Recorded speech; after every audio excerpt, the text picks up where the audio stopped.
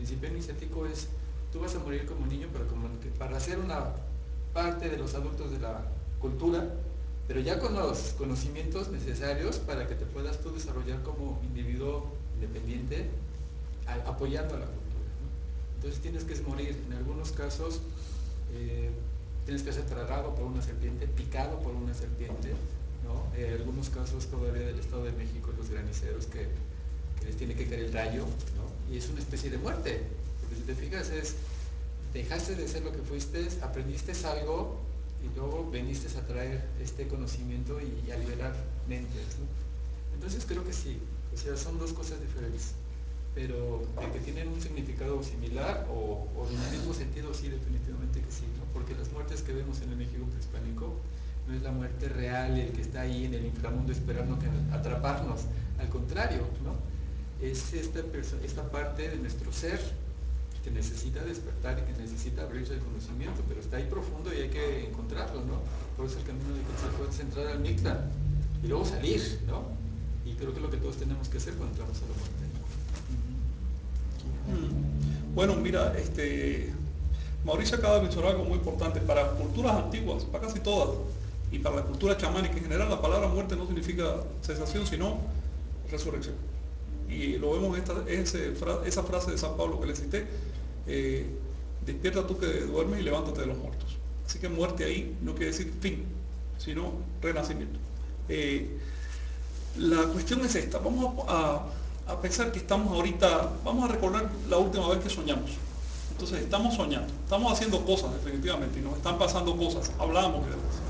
Es decir, sigue habiendo una vida que tal parece muy normal, muy cotidiana, pero estamos soñando. Pues bien, en ese momento, ¿dónde está el cuerpo?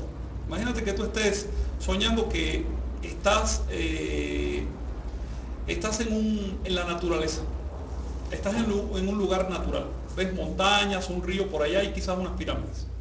¿Dónde está tu cuerpo en ese momento? Tu cuerpo está en la cama. ¿Ok?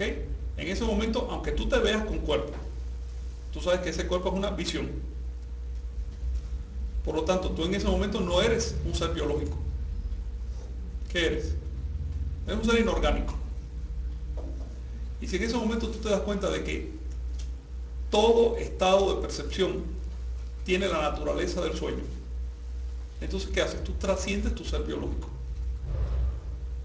tú te das cuenta de que siempre que te has visto en posesión de un ser biológico, lo que estás haciendo es una interpretación mental de hechos energéticos.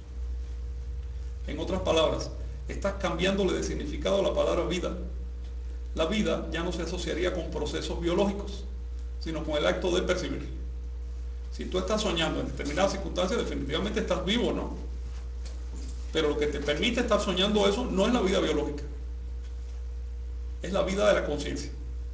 Así que la palabra vida empieza a asociarse para un ensoñador no con los procesos orgánicos, sino con los procesos de conciencia. Ahora bien, ¿qué pasa si abstraes tu cuerpo físico? Si abstraes tu base biológica. Lo que se muere es el cuerpo físico. Eso es lo que muere, eso es lo que deja de funcionar y a eso le llamamos muerte. Y si te das cuenta que tu cuerpo físico siempre ha sido una visión, Nunca ha habido un ser objetivamente físico detrás de ese cuerpo físico, porque para empezar, como ya definimos, la materia no es más que un nombre que le damos a un producto perceptual. Y si te das cuenta de que siempre has estado en la naturaleza de un sueño, siempre, incluyendo este momento, ¿qué pasa con la muerte? ¿Qué es lo que muere? Algo muere. Muere una imagen del mundo. Muere un modo de ver el mundo.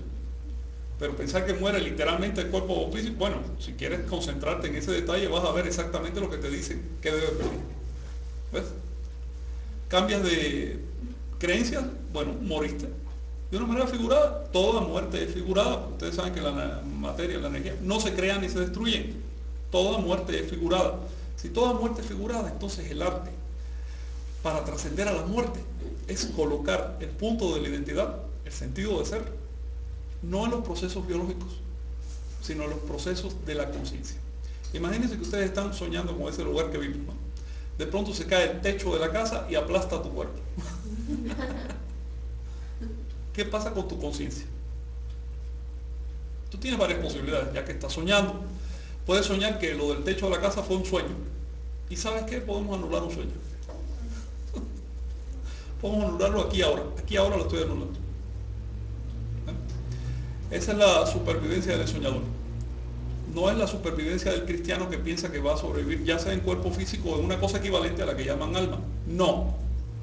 Es la confianza de depositar el sentido de ser en la percepción y no en las interpretaciones que hacemos de la percepción.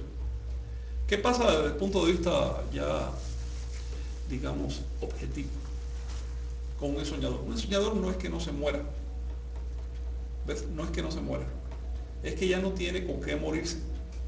Y si no tiene con qué morirse, ¿cuál es su estado? Podríamos calificarlo de zombie.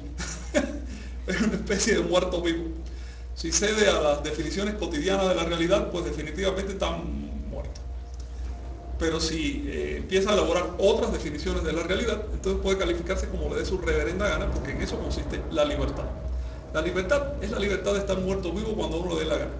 Definitivamente el poder de la voluntad se impone a las palabras, se esas dos palabras.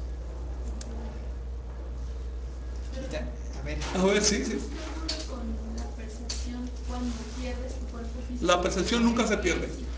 ¿Recuerdas un momento que no hayas percibido? ¿Qué te hace pensar que en algún momento se perderá la percepción? ¿Qué experiencia de tu vida te hace pensar eso? Ninguna experiencia de nuestra vida no puede llevar a la conclusión racional de que la percepción se pierde. La percepción jamás se pierde. Es así de simple. Lo que cambia son las interpretaciones que le damos al fenómeno, pero la percepción no se pierde. Tu conciencia, yo no tengo en posesión conciencia. La conciencia no es un objeto para ser poseído. ¿Ves? Ni yo, ni tú, ni él. La conciencia no es un objeto para ser poseído. La conciencia, ¿qué cosa es? No es un objeto. ¿Qué cosa es? Vamos a, a, ser eh, completamente honestos con nosotros mismos. Vamos a ver qué tenemos aquí y ahora. De duda estamos conciencia, ¿verdad? Todos sabemos lo que es la conciencia, ¿no? ¿Qué es la conciencia? ¿Cómo podemos definirla?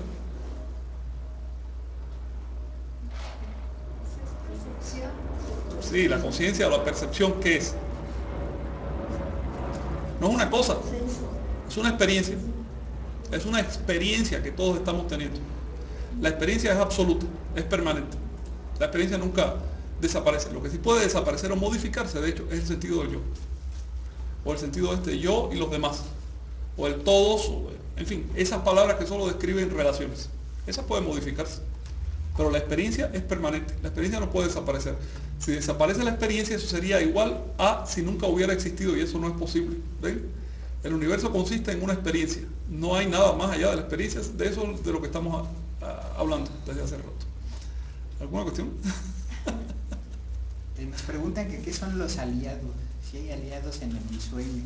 Puedes encontrar gente que durante un trayecto, durante un lapso del camino, sean tus aliados. Hay que tener mucho cuidado, porque aliado finalmente está buscando lo suyo.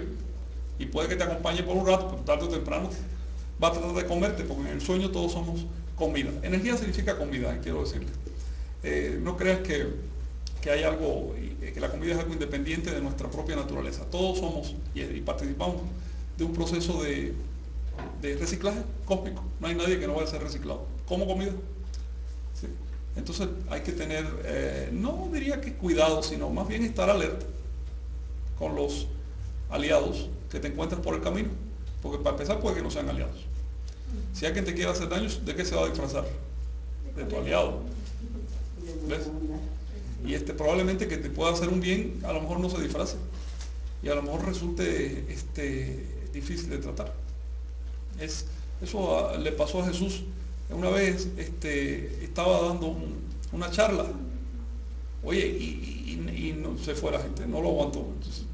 le, dijo a, a un apóstol le dijo, yo no he venido a endulzar oídos.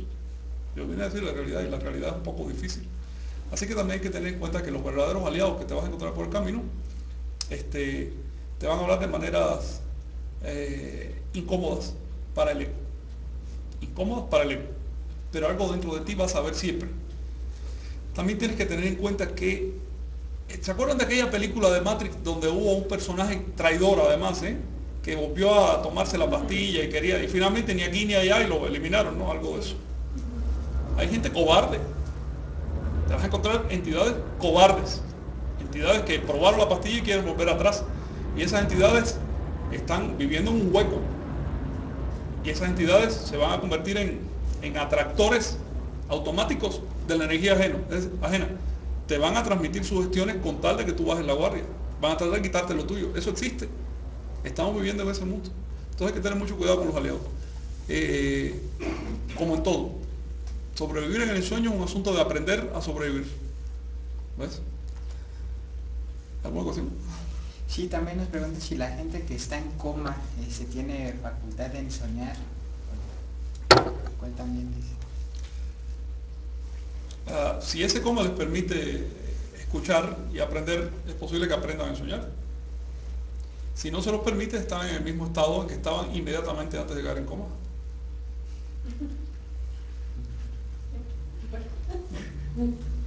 Puede que por casualidad cósmica a alguien en un estado de coma, seguramente que le pasó al primero que ensoñó, ¿no? Este, de pronto se le despierta en el sueño. Mauricio nos habla de que hay gente que ya nace, este, esto se llama en la India, la doctrina hindú, Jiva Mukta, nace libre. Eh, a mí se me hace que es un, eh, es un cuento. a mí se me hace que es un personaje de cuento ese que nace libre, pero definitivamente pues hay gente que tiene más propensión. Ese niñito alza negro, ¿no?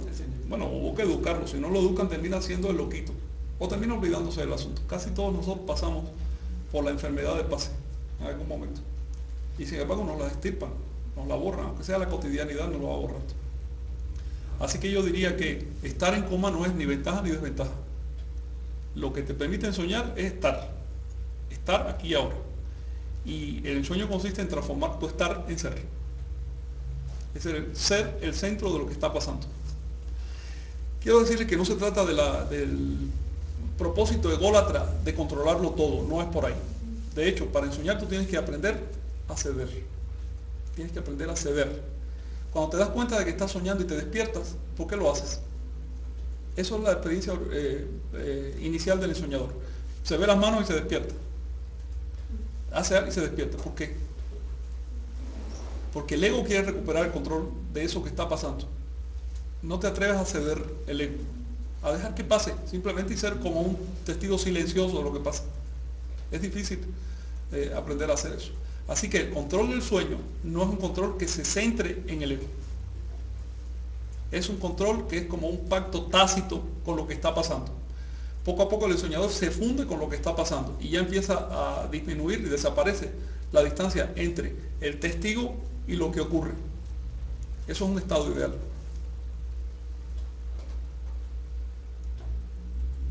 Esto tiene mucho que ver con, con el camino al ¿Sí?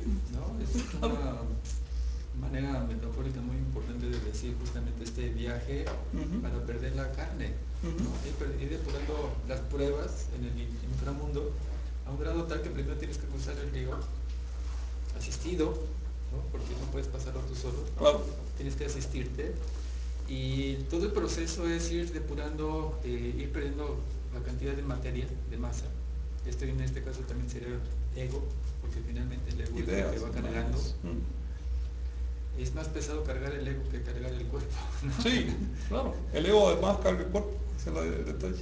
Hasta que llega un punto en el que es solamente conciencia.